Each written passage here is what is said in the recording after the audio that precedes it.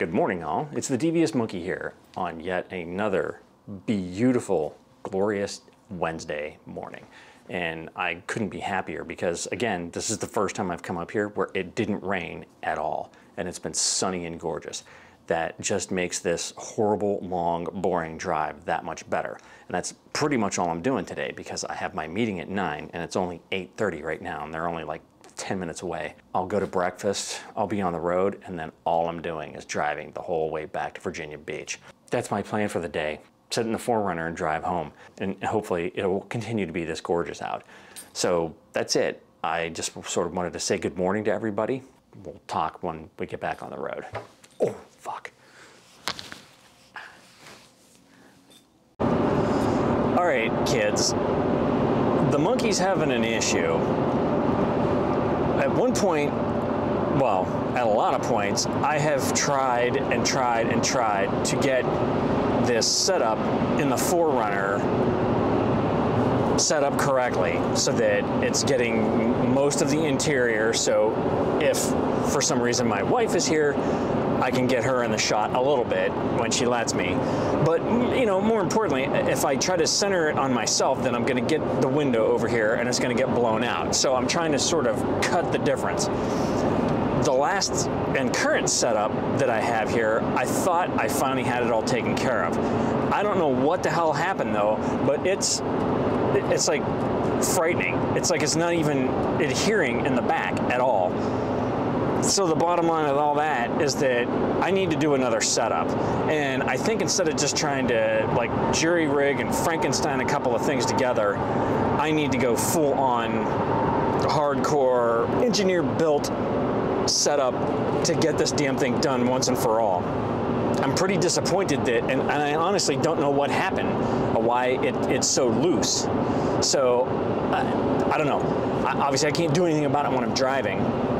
I'm going to have to do it when I get home. But even then, I can't do it today because in order to get this done, I have to have the proper tools, and I don't. If I had, I mean, I know I have a vise, but I don't have anything to attach the vise to that's sturdy enough because you can't attach it to like, you know, like a, a kitchen table or, or something like that. I need a hardcore like garage tool holding, well built surface that is made to take a vise.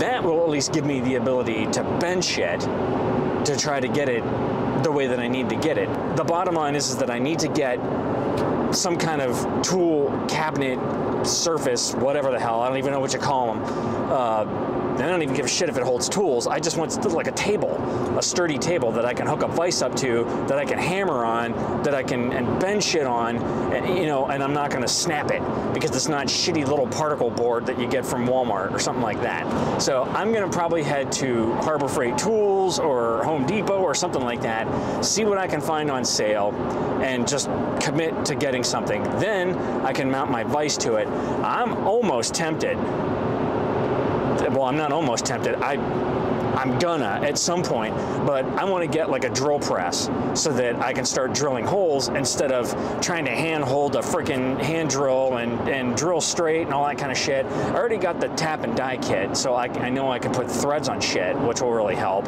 but I need to I need to have the proper stuff. So that means over the next several days, I'm going to head to those places. I'm going to look for something, see if I can't find the proper base, tool, table, whatever, and maybe some other stuff. And I'm not going to go out and spend all this money just because I want to put a freaking mount here for my camera in the 4Runner. There's a lot of shit that I want to do in my house and just in general that I can't do because I just don't have the proper tools and now is the time for me to do it. So that's what I'm going to do. The long way of the monkey saying, I need to fix this damn mount because it's going to fall over and that scares me. That That's going to be the adventure for the next several days. The nice thing will be that I'll have this weekend to play around with that. And more importantly, is that I've got a four day weekend next weekend, in which case I'll be able to do, you know, I'll have all the time in the world, theoretically, to do what I need to do and get to it. All right, that's enough for now. Okay, kids, I thought I'd give you a special treat. and I pulled over into the scenic outlook thingy here before I hit the Chesapeake Bay Tunnel Bridge system that I'm going to be on for the next several miles. So this is a little area that you can go to and you can film shit or just look out and wonder. So now I'm going to turn around so you can see, well you probably can't see it, but the bridge system is over there. But there's the ocean. It's on the other side of the highway too, but this is the side that I can get to that has a scenic overlook. And there you go. Now I'm gonna stick this sucker in 35 so you can kind of get an idea. So yeah, I mean, the thing that I thought was pretty cool is there's one, two, three, four, five, six, seven, eight, nine, 10, 11, 12, 13, 14, 15, 16, 17, 18 like big tanker sized ships way out there. There was just as many when I came yesterday and I don't know if they're just moored out there, if they're stuck out there, or if there's just always shit waiting out there. I mean, there's there's a lot of ships out there, and it's pretty cool. And you can see all a bunch of little tiny ships way out there on the horizon. But right over there, that's the first bridge system, which freaked me out the first time I went over it. And I did it at night when the sun was setting, and it looked like you were driving up into the sun and that there was a drop off. Kind of freaked me out. So, yeah, pretty neat. It's a gorgeous day out. Not quite maybe 70 degrees, but pretty cool nonetheless. All right, I have to pee. All right, kids, I'm home. Everything is unpacked and put away because I do that first when I get home so that I don't forget about shit. Plus I have to use all my equipment and it's all packed away. So that's all done. I've already eaten dinner. I've been doing day job email crap and just in general not being in the 4Runner after a long couple of days. So I'm pretty much done with filming.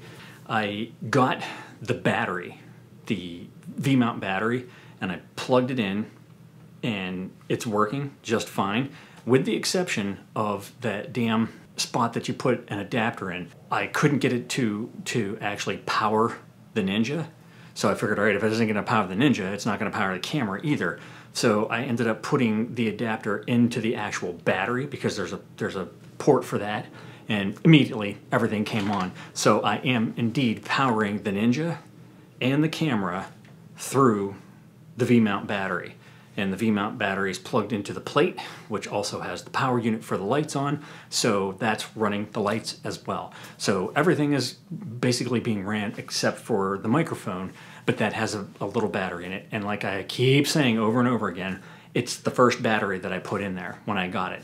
It's been a long ass time since I got that thing, and it's still going. And every time you turn it on, it shows up, well, when you plug it into the camera and you turn it on, then the light comes on, and it's been green since I turned it on first almost a year ago, if not a year ago. So uh, it may never run out of battery. It's eternal. I haven't even bothered to check the weather, but it is gorgeous out. So what I might do if I don't finish what I want to get finished tonight, I might get up, have breakfast, do what I need to do for like an hour, which would probably take me an hour to do, get that done, and then I'm going out into the woods because I haven't been out for a long time and I'm pent up because I've just been sitting the entire past two days. I need to walk off all this pent up energy. Plus, I need to move and stretch, and I didn't really stretch at all after going to the chiropractor. So, wham. All right, so that's all I've got for you today. If you have any comments, questions, or suggestions, leave them down below. As always, thanks for joining me. Be sure to like and subscribe. And remember, kids, forward and up.